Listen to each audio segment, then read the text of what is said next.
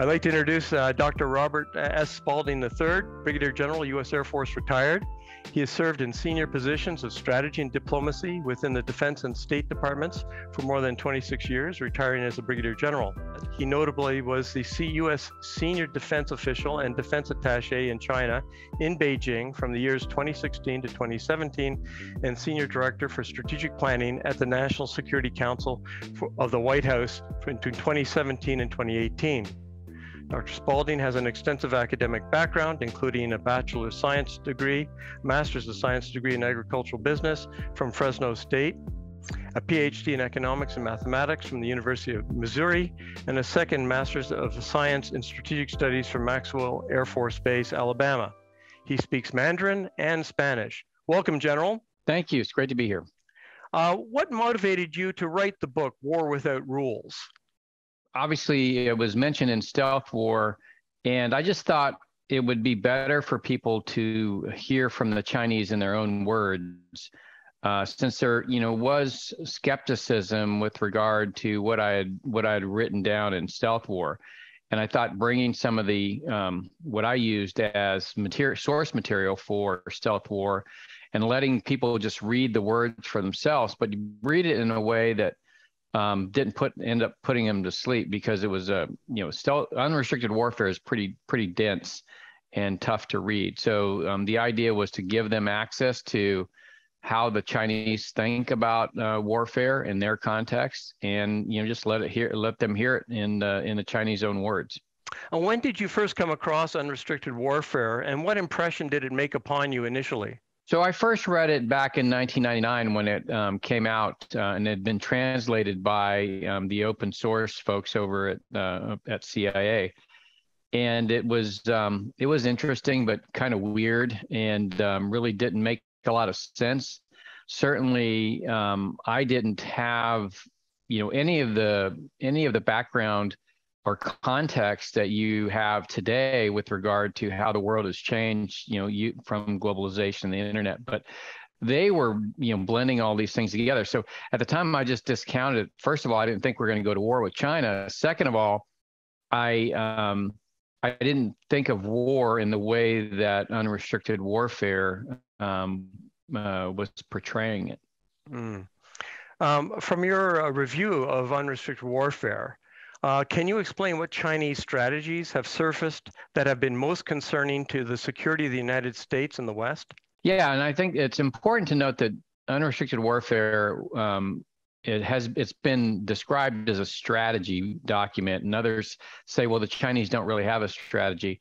Um, if you study warfare, what it is is a doctrine document. It's not a strategy document. It, it basically lays out principles in this uh, in this way of war that they that they think about, and um, and it uh, creates um, these you know principles of leveraging the day to day you know people that that people experience in their everyday lives um, for political warfare, and so it's a, it's an entirely different concept that um, that uh, you know we don't currently resonate with. You know, we think of war, distinction between peacetime and wartime, and um, there is no distinction in unrestricted warfare. There is a continuum of war that goes um, mostly from you know non-kinetic, um, but also at times kinetic, and um, it never stops. It doesn't. It doesn't cease. You you don't transition from wartime to peacetime. You basically find yourself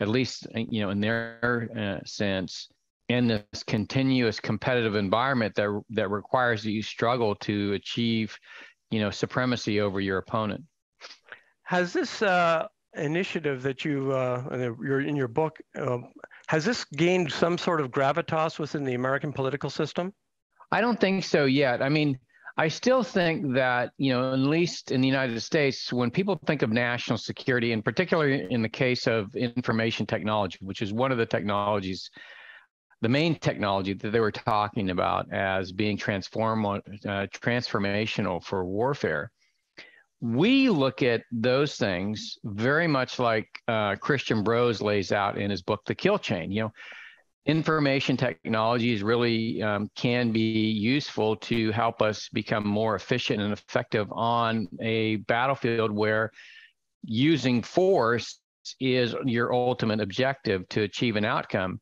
And uh, and that's not the way that, that that these guys think about that. So in, many ways, what Christian Brose brought forth in the kill chain was this idea hey, you know, innovation, at least in, in the Silicon Valley sense, never made it onto the battlefield.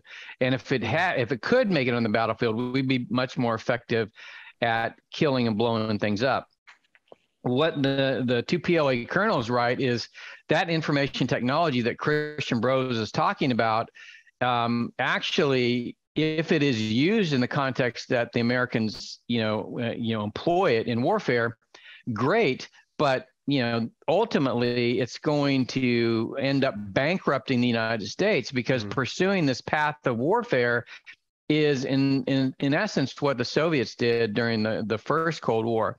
And that in instead you ought to mix it with economics and finance and really use it uh, in the context that the Chinese uh, have subsequently use it, and that is to begin to influence the perceptions, the behaviors, the intentions of people, not just within your own society, but outside your borders in ways that get them to accept your interests. And, um, you know, good example of this is just how they've, um, you know, essentially co-opted Hollywood. So Hollywood, you know, rather than representing the principles of the United States, now represent the principles of China because they have influenced the economic behaviors and by virtue of the fact that you know most of Hollywood wants their films to be shown in China, influence yeah. how those movies uh, turn out. And so, in in essence, they've taken what we've built, and then we they've you know created their own identity and narrative that overlays on top of that. And from a business and financial perspective. And they've completely just ignored the military, you know, in terms of the way that we're thinking about it. Now, they invested in the military, but that is not their primary objective in terms of how they use warfare. It's about using the everyday to achieve, you know, a recognition of your interests. Hmm. Well, some analysts have argued that the, the non kinetic strategies that are outlined in the book Unrestricted Warfare have been aggressively pursued and been ongoing for over 20 years. In your opinion, have we been in a newly defined war with China since 1999? We have, and that was, you know, that came really, you know, uh, became very evident to me when I got to the Pentagon um, working for the chairman. And as we were starting to work on the illegal islands in the South China Sea, I had, you know, the prior year spent a year in, in New York um, at the Council on Foreign Relations and met a lot of business people. And so it was those uh, uh, interactions and that network that I used to really begin to understand that, you know, while we were thinking of the mil- of the of the China competition in a more kinetic sense, in a more military sense, you know the Chinese were pursuing this other um, this other um, methodology, and so I started along with a team there at the Pentagon to begin studying this in 2014, and you know this leads you know from 2014 all the way to I get to the White House in 2017 to the development of a national security strategy that's focused on um, the the implications of our relationship with China, not so much in a military sense, although that's part of it, but more in the economic, financial, political sense that um, that unrestricted warfare reveals. And so, um, you know, I don't I don't see that we have, you know, as a national security um, establishment in the United States, fully embrace that um, that concept. Is it getting traction though? Well, I mean, I think, you know, I, I, I want to say that I believe so in that um, you're hearing more about it um, and people are talking more about it. And I think it's become more uh, common in our lexicon, at least understanding that China, there are things that China is doing. I think, though, um, the problem we have from an implementation. So let's say we have a recognition, but from an implementa- implementation standpoint, the corporate sector, the US corporate sector, has enormous influence over the political process. Yeah. And as a result, because the political process in Washington, D.C., you know, has to be the ones that implement policy that begins to protect the nation from this kind of um, infiltration and influence, as the corporate sector is itself um, influenced by the Chinese Communist Party. Therefore, they are also influencing our political process. And so, in a way, we're captured by this, you know, uh, relationship that we've created for, you know, ostensibly good purposes, but in reality, it ends up backfiring. A good example is the CHIPS Act that was recently passed. So, you know, the idea is let's rebuild our chip industrial base in the United States. The problem is that bill, so $46 billion coming from taxpayers' money into the semiconductor industry in the United States, that semiconductor industry in turn lobbied the Congress to include in that bill the ability for them to invest their money in China. So oh US government investing, you know, taxpayer money in the United States and therefore since the the companies don't have to invest that money, their money, they can invest it in China. That's what they negotiated in this bill. So that's what I mean where the Chinese Communist Party is able to influence our oh. corporate sector to begin to dismantle any protections that are sought in Washington, D.C. It's the same thing at the White House. You have the National Security Council saying this economic relationship with China is a national security problem for us. Uh, taking the National Economic Council says you are wrong that is only a business thing. It is not a national security thing, and you are incorrectly applying. You're you're going beyond your mandate, National Security Council, in calling out this relationship. Well, taking that as a cue, uh, as China has done much to attract global investments, particularly those from the United States and the West, it begs the question should there be a national security interest in the free market system? Well, there is. And in fact, you go back to World War II, we nationalized the rubber industry, we nationalized the steel industry. We told, you know, Ford to start making airplanes. We we we transformed our industrial base into a defense industrial base, an arsenal for America, if you will, that enabled us to fight the Nazis. So to to take industrial policy and say that that is not that's completely divorced from national security just belies everything that we know about history. And today, you know, as an example, it's incredibly uh, potent uh, for our independence and sovereignty. For example, um, let's say, you know, as Pelosi goes to Taiwan and and you know this starts a a series of confrontations with the United States that leads to the U.S. imposing sanctions because of some you know action that China that China takes. It is in the realm of possibility that the Chinese then come back and say we are going to restrict the flow of pharmaceuticals to the United States as a result of this. We have no option. We don't make our own antibiotics. 90% of our pharmaceuticals come from China. So we have in in in moving our industrial base into China and not having an industrial policy that recognizes that we must, you know, look at this uh, from a perspective of national security, we've created the ability for the Chinese to coerce us using the fact that we can't make our own uh, pharmaceuticals. That is just one example um, of the many things that come from China that they can use to against us. Hmm. Oh, I've been uh, quite concerned about uh, the sort of political penetration, not only of the United States and Canada, but also uh, Great Britain and the West. Uh, one of the venues for that is the Confucius Institute, which appears to have penetrated Western educational uh, systems, particularly at the university and postgraduate level, which in turn receives large amounts of money to pursue you know, China, the Chinese uh, studies, including Mandarin. Uh, do you really see this as a threat uh, to the, the, United States and the West? Well, it is, and it's not always obvious how it is. So, you know, Confucius Institutes, for example, become, um, you know, essentially centers of the Chinese narrative, the Chinese Communist Party narrative within the university system. But the money going into the universities also has begun to impact policies. And, you know, the best example that I can give of this is the Imperial College of London and their um, epidemiology models that were saying that you know so many millions of Americans were going to die as a result of the coronavirus.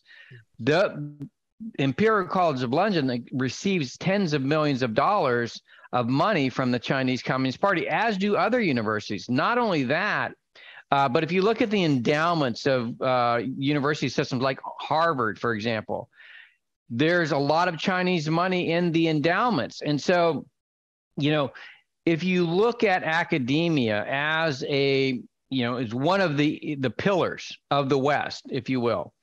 One of the things that um, it was built on is this idea of um, of truth, of the search mm-hmm. of truth, and the ability to have uh, dialogue, as you've seen on university campuses, the ability to have um, realistic dialogue where you can discuss many sides of an issue, that has literally just gone away.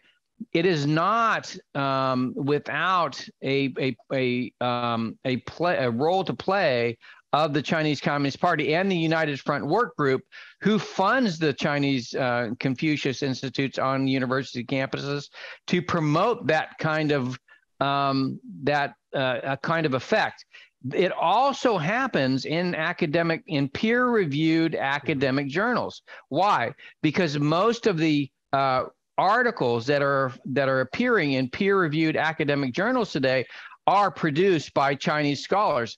And what we found in those is widespread uh, falsification of data, fabrication, and so there is many elements to how the Chinese Communist Party and their integration in the West is leading to the downfall of academia mm-hmm. as an institution of the West that promotes this um, search for truth that was a feature of the Enlightenment period. So it's almost like what you've seen is as China has entered the global stage and entered these institutions, a lot of the things that we kind of take for granted as coming having come from the Enlightenment period and have led to you know widespread you know growth and in in uh, prosperity and health. You've seen actually a reversal of those things, and it's not.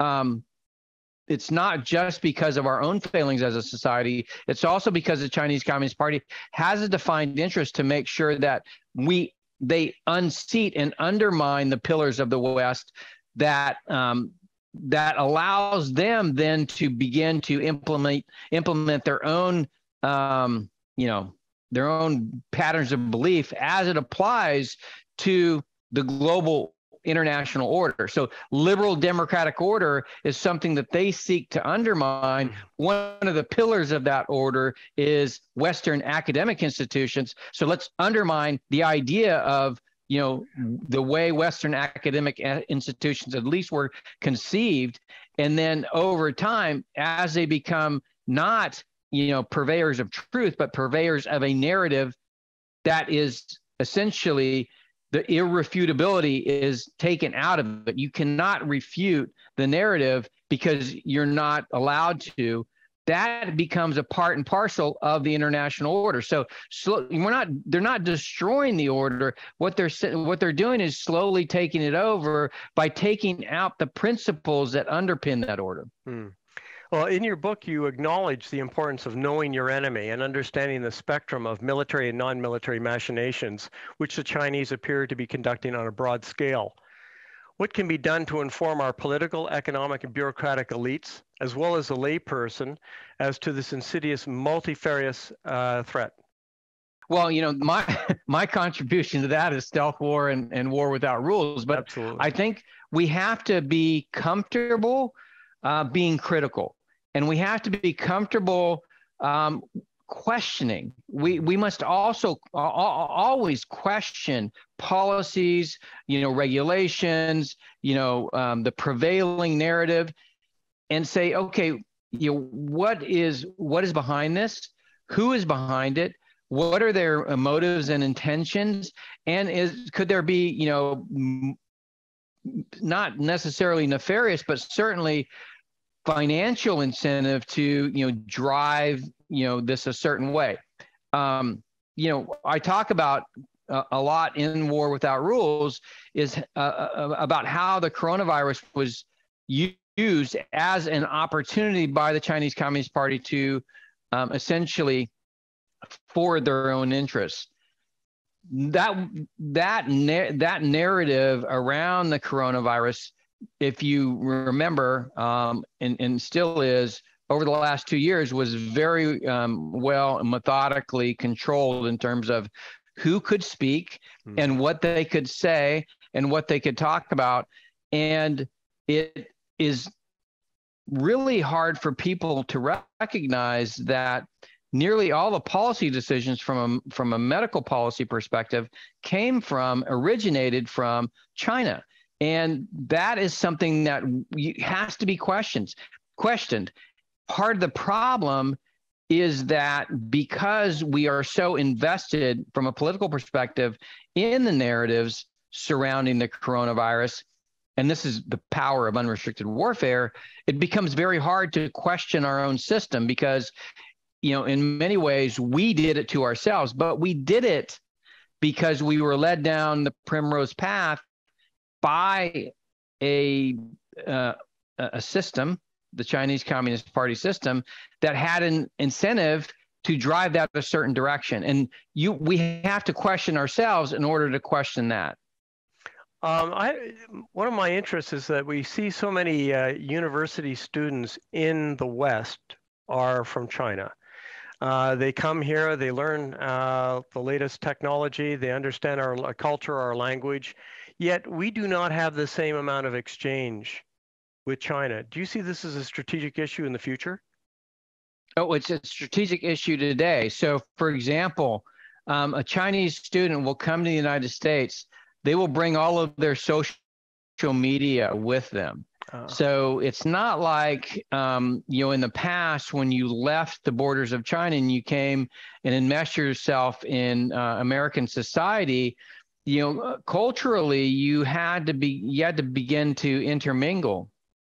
Because they bring their social media with them they in, in essence bring a piece of china with them. And so they're able to um, stay uh, connected and use these social media apps that are very much censored by the chinese communist party. So you know they're not getting the full kind of effect of America because they, they often the 80% of the time they'll speak Chinese, to only intermingle with other Chinese students, and then they'll stay um, on um, Chinese social media platforms.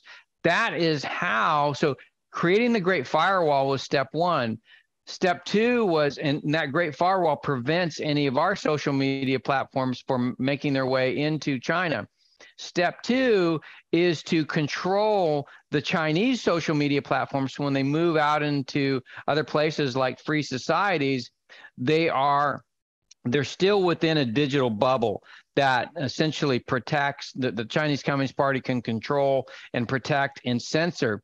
And so not having that the ability to first of all allowing those social media apps to be in the United States without having reciprocity reciprocity in China means that the Chinese are able to have their narrative for those Chinese students outside their borders, but Chinese uh, American students or Chinese students in China are not allowed afforded the same opportunity with regard to Western media. And now that um, is not so much a problem today because what we've seen is Western media um, is in itself has been kind of captured by this um, one global narrative.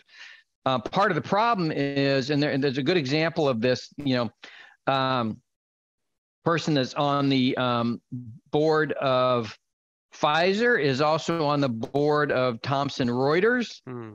So you're having an intermingling of the major media organizations within the West and the corporations of the West, and the fact that the Chinese Communist Party has money invested in those organizations. So you have maybe five um, major uh, organizations for media in the United States.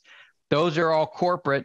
Those shares are owned uh, in addition by the Chinese Communist Party. So there has been a hom- homogenization of the narrative as a result, not of, you know, Pfizer becoming a Chinese company or Thomson Reuters becoming a Chinese company, mm. but by virtue of the fact, so before China was part of that, it's what America did with its corporate sector. It went out and kind of it spread democracy and it spread it because ultimately American corporations had, you know, fealty to the US. Today they're multinational corporations and because they're multinational, they have really no fealty to any one government, but China uses that that ability to influence that system to say and they understand it much, much more so than we do in a way that says, hey, I can financially control these entities by getting in, involved from a business sense in their in their relations. We don't do that in the West. There's a complete separation between the government and private sector, and so because all of these media, uh, all these major media have become corporatized, and because that corporation, it's it's it's intermingled. Like for instance, Blackstone mm-hmm.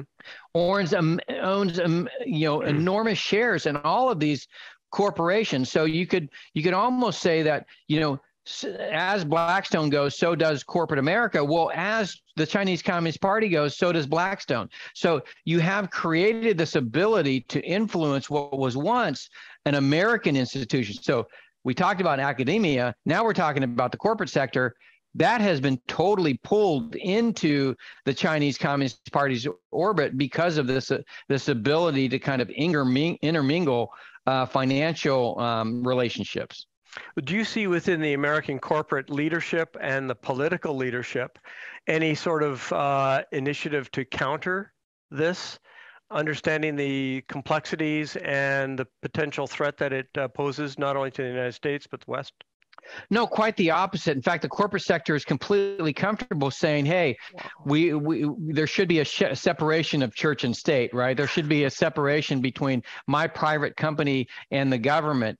Well, the Chinese Communist Party doesn't doesn't play by those rules, and so um, a good example of this argument, how it how it kind of backfires, is Google. You know, Google doesn't want to uh, support the U.S. military with artificial intelligence but they do want to uh, support China and, and commercial companies in China uh, with artificial intelligence. But the Chinese say that if you have artificial intelligence in a in a commercial company in China, that technology must by law be given to the military. And so, you know, the civil military fusion ensures that whatever goes to the corporate sector in China goes to the military. And so we we are you know what we believe taking the high road and we're creating this separation between corporate and government china doesn't play that game. And so they get the benefits of google. That you know their military gets the benefits of google and their political structure gets the benefits of google. But in america those that technology can't be used to promote democracy or rule of law or civil liberties or human rights because that's what we would do in the West. Instead, those technologies developed by Google, you know, now are allowed to support the opposite. And so, you know, it, it's it's ironic that Google's do no harm actually is doing harm mm-hmm. because they are essentially incentivized by the Chinese Communist Party to do so. And because we have a separation between the cor- corporate sector and the government here in the United States, the government is like, it doesn't have the tools to get in and and really do anything about that and so it's kind of left on the sidelines while china is able to kind of um, orchestrate the outcomes that they want Well, in your time with the National Security Council uh, and advising the White House, what was the stand of, let's say, the CIA, the FBI on on these issues? Well, the, and so as I um, and it's really stemmed from my time in the Pentagon, as I started to question, you know, these things within the intelligence community, there was a lot of pushback. Mm. Uh, and the pushback basically said the, the the Chinese are not an enemy; they're they're not an adversary, and I think that comes from as you take a step back and say why why have we uh, kind of um, clipped our wings when it comes to recognizing you know this totalitarian state that you know hates uh, everything we stand for, not as an adversary, and it really comes from the political system. So whether it be the President George H.W. Bush or Clinton or George W. Bush or Obama, any of the presidents that have that have um, served since uh, Tiananmen Square, for mm-hmm. example, the, you know the idea has been if we just you know bring China into the fold, they will they will liberalize, and that was such a powerful belief Hmm. by both on the part of both the right and the left that it motivated our uh, national security policy and foreign policy to such an extent that the um, the intelligence community just shut off you know just shut off their switch in terms of thinking about China as an adversary and you couldn't get that switch turned on in fact they they um, you know I, I remember sitting in um, in a meeting with all you know all of the the NIMS and the NIOs, you know, um, you know whether it had to do with China or economic, you know, they they they they're they're separated by regional and functional uh, designations. Um, they're just just absolutely incredulous that China could be viewed as an adversary and in particular, uh, you know that that economics could be a problem, and so um, you know when you when you kind of look at the, national security um, architecture, you know the, the the enterprise, if you will, it is very much influenced by politics and politics mm-hmm. on the right and the left this is something that people don't really recognize mm-hmm. foreign policy national security policy there is a consensus. There's a bipartisan consensus that exists.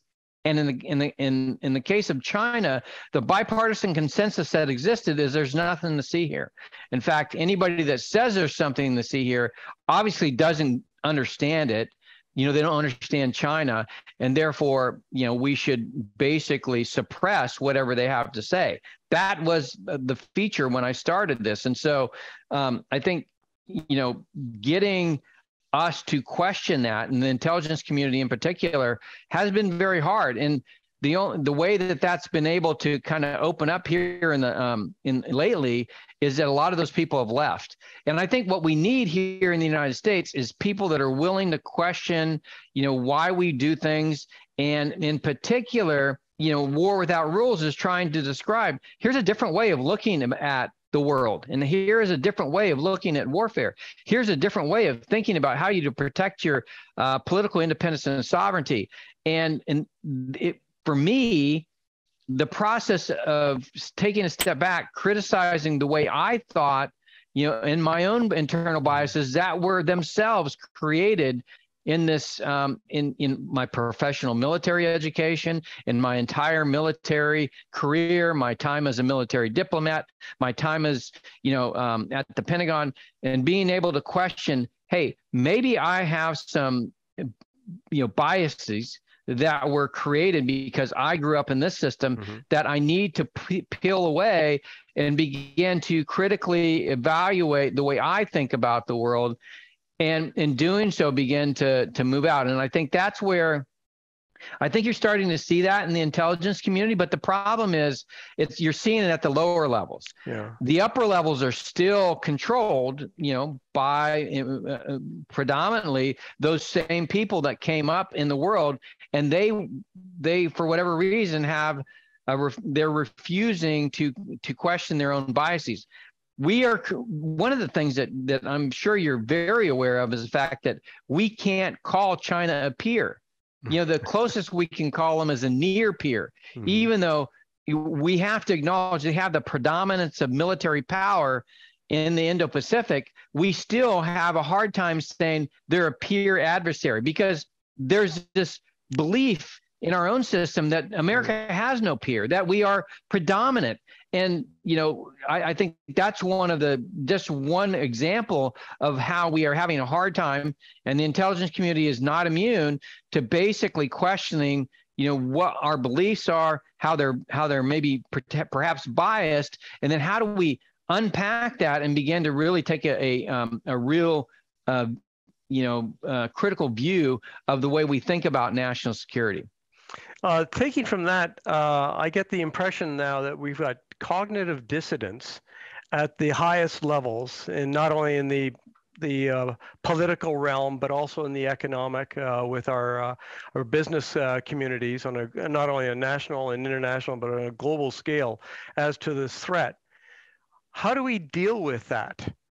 Is it time to? Uh, is a wake up call coming? Uh, is is what we see uh, China's aggression uh, in the, the Pacific area, the Rim, and its threatening behavior? Uh, should that be a wake up call for a lot of people? I know the, in the UK, uh, the, it's much discussion as to whoever leads the Conservative Party, indeed the British government, is going to have to look at the threat of China in the in the near run. Your view, sir?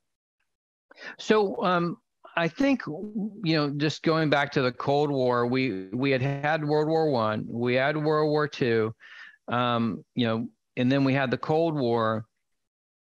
We had people that had come through the crucible of those two great wars, and had a sense of um, how hard uh, preserving liberty was. Um, people like Churchill, mm-hmm. um, FDR was pretty critical in in World War II in terms of he he got a lot of pushback from the corporate sector on you know uh, you know he believed that we had to confront you know Nazi Germany. Mm-hmm. And then and then through the Cold War, you had people that had lived through World War II, understood the implications of backing down to um, you know the not the Nazis um, throughout the late 1930s, and saw the need and and and Churchill came to America and he went to St. Louis and gave his Iron Curtain speech. And so my sense is what's happened is the Cold War ended um, as uh, as empires do, not with a bang but with a whimper, and um, everybody just kind of went about their business, and nobody thought that we should continue to to think strategically about how we preserve the republic in a world where America is not um, the predominant power, and in a world where, in fact, you have um, you know a major power like China that really thinks in the opposite direction of the course of history, and so. Um, you know how do you how do you change that i my my gut tells me and um, this is a, this is a tragic way to think about the problem, but my gut tells me is that we're not prepared for the actions that Russia took mm-hmm. uh, in invading Ukraine, and I don't think we're we're prepared for the actions that China will take in invading Taiwan, mm-hmm. and that maybe um, uh, therein lies the catalyst of our um, of our of our awakening from our slumber. That that kind of a threat to the international order um, that is more consistent with what we view war um, may be the thing that helps us wake up to it. But I think if if if I'm Xi Jinping and I just continue to run the tables the way I have been running, and I don't succumb to my own uh, hubris, mm-hmm. that's um, then I don't move on Taiwan, and therefore, you know, over time, you know, the the things that we stand for just cease to have any relevance in the world. I think that you know how we this ends is that China can't um, escape its own hubris. It is victim to um, the same hubris that Putin has demonstrated by invading Ukraine. Can't help it, and therein perhaps lies our salvation so it strikes me, if, at least from our discussion so far, is that we have a real problem with elite capture.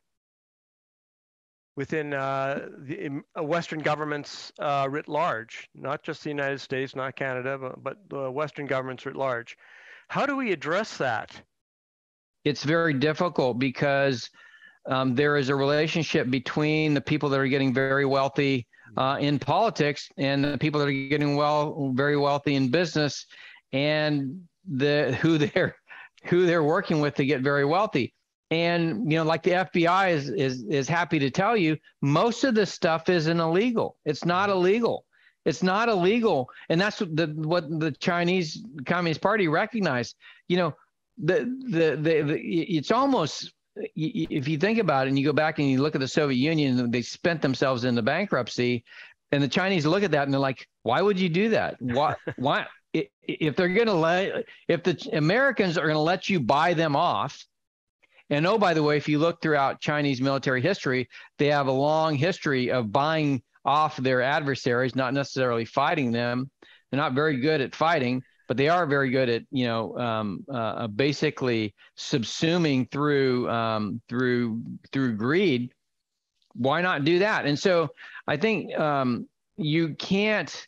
Uh, people are motivated by money, and to the extent that there's no um, there's nothing illegal about them doing business with a Chinese company, and that Chinese company you know, is influenced by the the um, interests of the Chinese Communist Party, then basically you have no defense. There, you, there, you're not breaking a law. You're you're you're getting rich, and into in in in today's morality, getting rich is really demonstrating that you are a good person, that you are doing things the right way, um, particularly if you're not breaking any laws. And so, you know, it has to be somebody with the political courage to stand up and say, and the ability to um, get elected. Because part of the problem with our politics today is, you know, the the the donations are going to politicians that are supporting this uh, activity. Um, I mean, just look at Pelosi. She's she's got hundreds of millions of dollars, and she um, she has supported these companies and in fact profited from these companies and it's the same on the on the uh, political right and so we have a system today that it doesn't these things aren't illegal you know a good example of another good example of kind of um, you know this is um, mitch mcconnell's sister-in-law who's on the board of the people's bank of china like you know if i if my uh, sister-in-law was on the Pe- Pe- Bank of the People's uh, Board of the People's uh, Bank of China, yeah, I wouldn't have been able to have a security clearance. But this is prevalent throughout our political system, and so um, you know it. Uh, I, I don't know what else to say. Like I've called it out. Uh, Peter Schweizer calls it out. Um, you know, in his book. Um, caught red-handed i mean it's just it's there it's it's it's wide open for everybody to see and if you rose your right hand to uh, swear an oath to the Constitution, and you, you look at you're confronted with this, what do you say about it? I mean, there's it's very very difficult to um, to, to to to digest. Uh, it's interesting to note that something as so banal as TikTok has enabled China to access U.S. data. How can this technology, technological data accumulated in China be weaponized? in your view? Oh, there's a lot of ways. First of all, um, uh, data collected on your smartphone uh, can be used to track you. Um, and then that tracking can be turned into targeted ads that go to your device.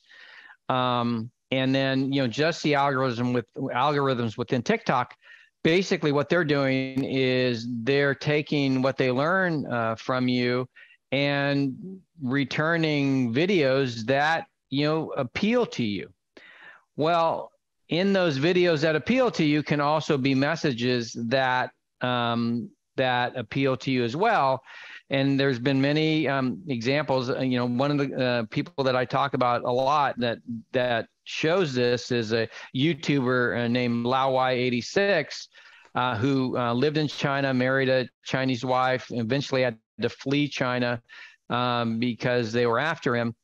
you know shows that these there there are you know propaganda videos within TikTok.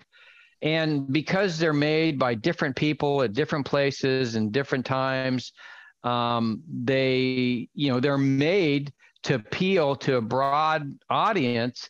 But you know that one message is read off a script by all of those um, people that are uh, reading the script. So it's a way to target a message to a person in a way that you know the system knows that you that will appeal to you but then the message is the same right?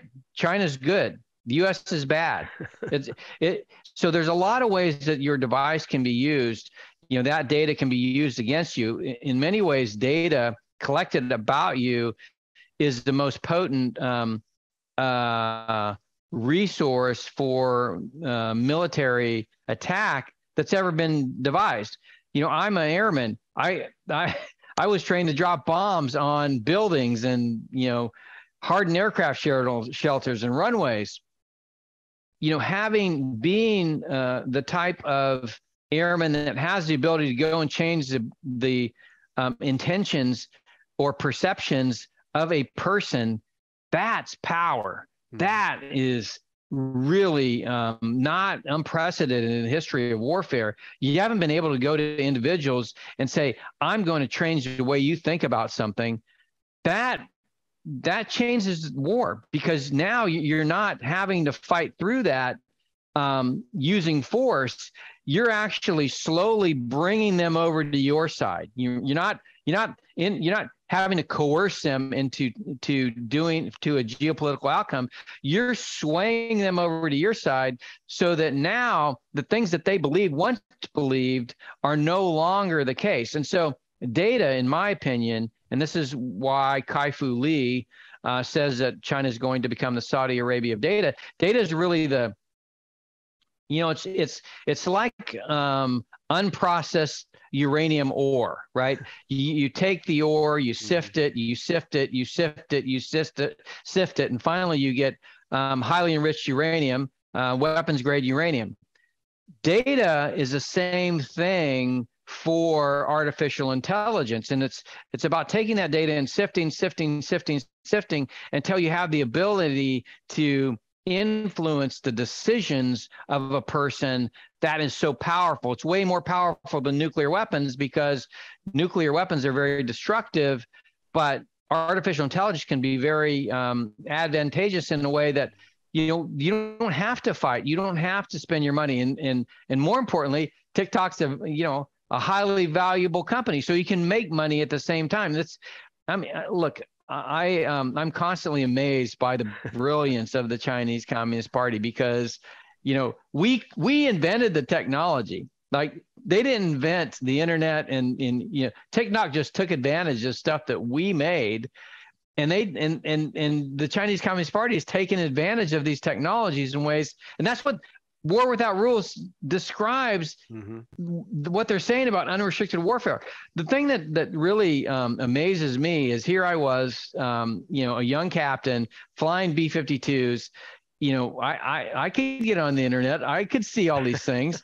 I couldn't see the implications for warfare, though. Mm-hmm. It would take somebody schooled in political warfare sure. to see the impl- implications of it.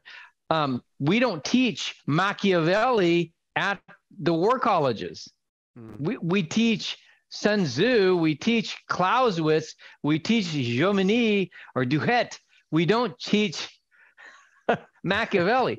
If we taught Machiavelli, then I think we would be, be better um, positioned to understand what these two PLA colonels are saying. Hmm. It's interesting. Uh, as a graduate of the U.S. Army War College, I, I was always amazed at well the facet of, of military technology and power, and lots of ships at sea, air dominance, ground dominance, new technology. But when I can, I always would uh, offer, at least uh, uh to my fellow classmates, is uh, without economic security, you have no national security. Is this ever going to penetrate the hardcore minds within the Pentagon and our Western military establishments? No, I, I think um, I think unless you know one of the things that, that we ought to do is change professional military education and really take a step back and say, make these uh, young officers and, um, and, and, and, and future leaders much more understanding of what else is going on look they are already becoming you know good at combat what they need to become good at is politics and economics and philosophy and I think we probably, you know, in earlier um, uh, days of our republic, did a better job of that. We don't do a good job of it, of it anymore. We don't, you know, we don't study philosophy or um, or economics or politics at the war colleges, and I think we should because you know when you when you look at unrestricted warfare, that that's what they're talking about. Like they are so much better educated um, as thinkers than the average military officer uh, in the United States. We're so focused at the tactical level in mm-hmm. terms of how do we employ combat power and not why do we employ yeah. combat power.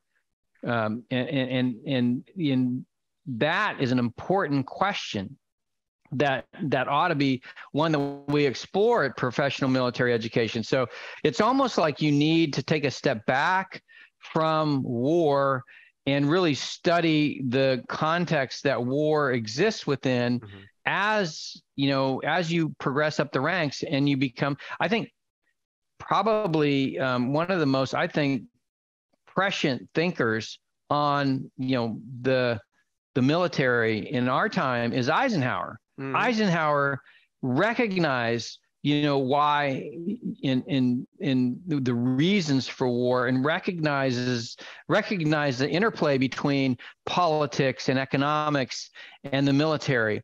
And um, and I think he set the the the the stage for how we were going to confront the Soviet Union, but he had he had um, I think he had a, a much better grasp on all of these different um, things that come together for a national leader than um, than we've ever had. I think maybe Reagan uh, was, but he, but Reagan was also a child of World War II. So was Kennedy, um, and you know he. So I think you had again people that that were that went beyond uh, kind of um, you know just where we are today as and the military class military officers, they're the ones that are kind of tasked with protecting the our democracy. But I, under, un, unfortunately, they they've kind of lost sight of the fact what our de- democracy is, or how it might be changing as a result of these things. And so, um, I think professional military education is one way that we could um, reclaim some of that intellectual high ground that would allow us to um, to to to confront these um, these issues.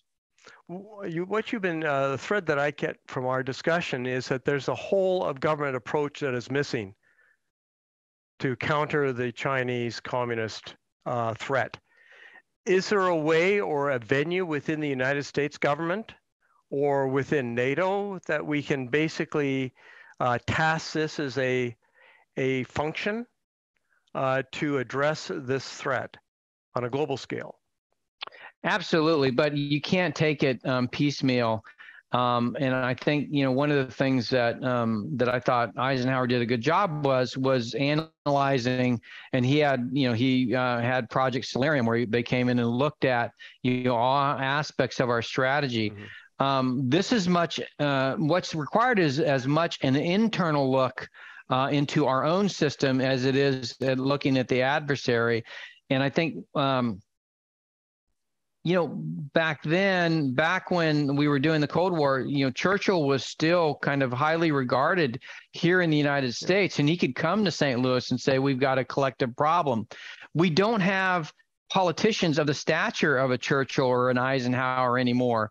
We we don't have this um, shared suffering that we went through to you know it's it's almost we've had shared success and share and success does not breed no. people that are um, hardy of character and and will and um, and so uh, you know uh, I struggle with trying to you know figure out how do we get people to um, I think I feel like, and this is this is something terrible to say. I feel like we have to go through a crucible of struggle before we can emerge and have people with the character that can and the credibility that can stand up and say these are the types of things that we need to do. These are, um, and so, and then that there is um, that shared suffering across the Atlantic, you know, and, and throughout Asia, where we can come together um, with allies and say, okay, we recognize that we have to um, we have to change things.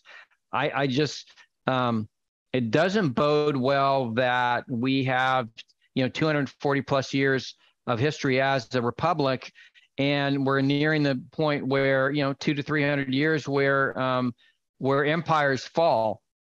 Not to say the United States is an empire, but certainly you could say that Western civilization um, could be considered an empire, and maybe Western civilization has to fall, and maybe we have to fall into these dark times of tyranny, and then you know to emerge. But what will emerge will be something different, and so um, this is a thing that I fear.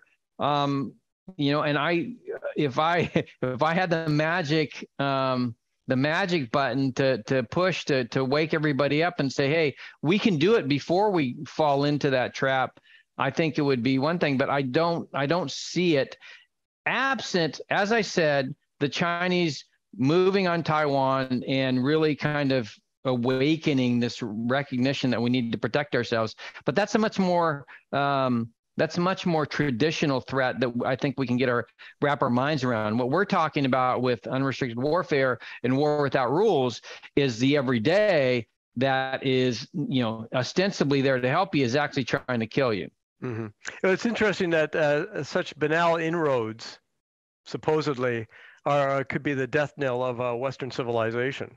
Well, yeah, and, there, and there's always these um, stories of um, you know tragedies where um, somebody uh, thinks that they're they're caring for a loved one, but they're slowly feeding them poison, and over time, you know, the, the the person dies. And I think in this case, you know, we um, we think that you know somebody coming and bearing gifts is somebody friendly, and, and and and rather those gifts are designed to undermine the fabric of our society, and that's really hard to see. It's really hard for people to to recognize and um, and it takes a discerning critical citizenry to um, to question their leaders and say, you know, something doesn't seem right here, and and why are we doing this, and why are we doing that?